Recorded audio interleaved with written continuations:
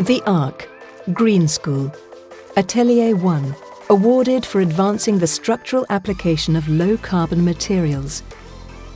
The dramatic roof structure of this school gymnasium is a breathtaking use of sustainable, locally harvested bamboo that was hand-processed by local craftspeople.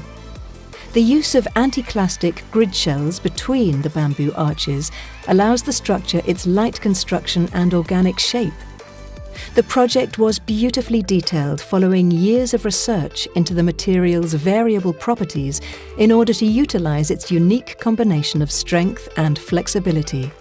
The end result is a very low carbon structure superbly executed.